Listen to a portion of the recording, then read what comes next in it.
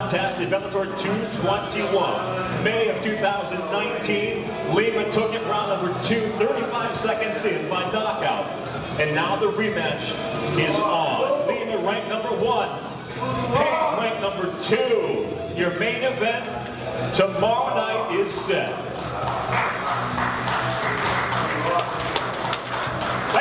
put your hands together as we are now set for Bellator 267. That, your main event, Douglas Lima, Michael Venom Page.